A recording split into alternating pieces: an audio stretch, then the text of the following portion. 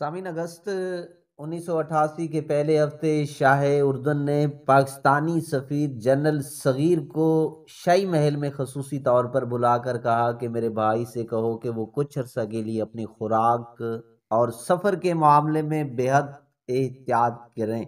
यकम अगस्त उन्नीस सौ अठासी को लाहौर के मुमताज़ इल्मी और रूहानी शख्सियत हकीम नैयर अली वास्ती अचानक इस्लामाबाद पहुँचे। और दसवें कोर के commander lieutenant general Imran Ullah बंगे से मुलाकात करते हुए कहा, जनरल जियाउल से कहें कि वो अगस्त का पूरा महीना ना तो बाहर का खाना खाएँ और ना ही सफ़र करें। हालात वाक़ात का जायज़ा लें तो मालूम होता है कि अप्रैल 1988 में जनीवा माहा के बाद पाकिस्तान में तेज़ी से पुरस्कार वाक़ात रोनुमा होने लगे। 10 अप्रैल 1988 को ओजड़ी कैंप का सानिया रोनुमा हुआ। जिसमें मौजूद हज़ारों टन एमिनेशन और बारूद ज़य हो गया। ओजड़ी कैंप का हादसा इसलिए मशकूक हो गया कि मौका पर एक भी अमेरिकी मौजूद नहीं था। जबकि ये असूल तय था कि सी आई ए के तीन अफसरान जहाँ मौजूद रहेंगे।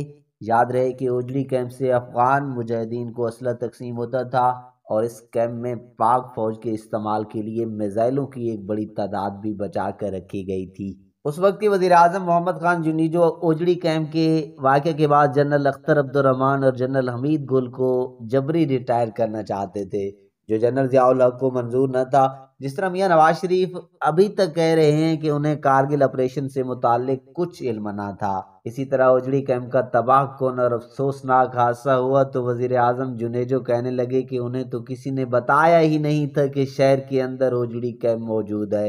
हालाँकि अक्टूबर उन्नीस सौ छियासी में बाहसीत वज़ीर अजम वो खुद भी ओजली कैम्प का बाकायदा दौरा कर चुके थे और उसका रिकॉर्ड मुल्क की तमाम सिक्योरिटी एजेंसियों, कानून साझेदारों और वज़ीर अजम हाउस के रिकॉर्ड में भी महफूज है। कहा जाता है कि जुनेवा माहा से पहले सदर जियाउल हक और वज़ीर अजम मोहम्मद खान जुनेजो में अच्छी खासी बदमजगी पैदा हो चुकी थी, जिसमें दीगर लोगों के अलावा मुबैना तौर पर गुलाम इसहाक खान ने भी किरदार अदा किया था।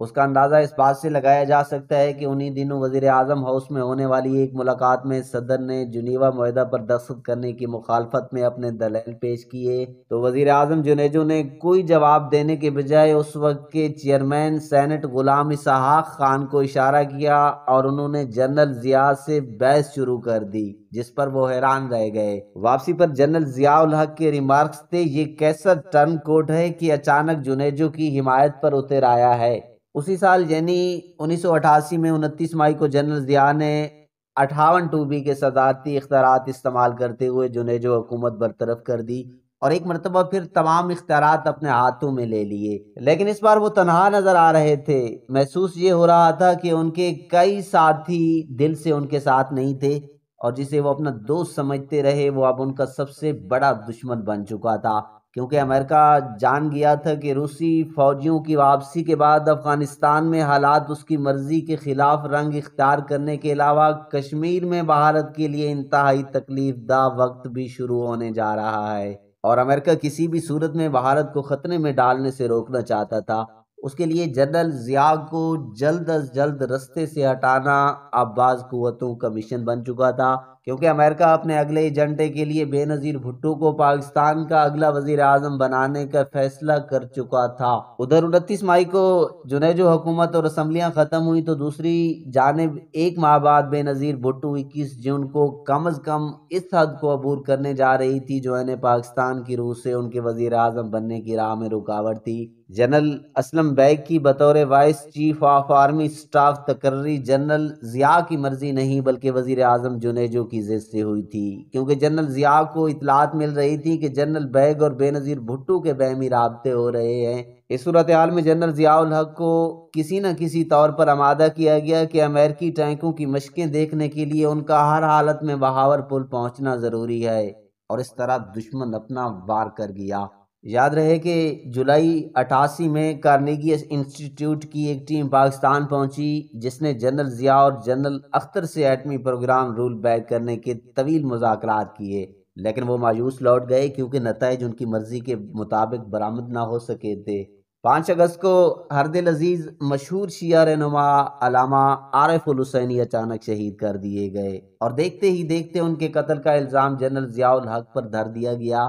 उनके कत्ल की अगली सुबह 6 अगस्त को इस्लामाबाद और उसके गिरदो नवा की दरो दीवार जनरल जिया को अलामा शहीद के कत्ल का जिम्मेदार ठहराने के नारों और पोस्टरों से भर दिए गए।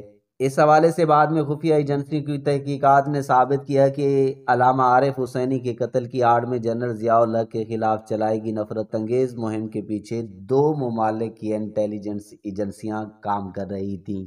फ़िज़ाई हादसों की तहकीकात के महर ग्रुप कैप्टन जहीर जैदी ने खैरपुर टामे वाली में करिश होने वाले सी एक सौ थर्टी के काकपेट की बाज़ टुकड़ों की केमई तजिए किए तो उन पर कुछ ऐसे गैर मामूली कीमई अनासर पाए गए जो जहाज़ की बनावट में इस्तेमाल नहीं होते। और हासिल होने वाले उन कीमाई मादों को यकजा कर दिया जाए तो हल्के धमाके का बम तैयार किया जा सकता है।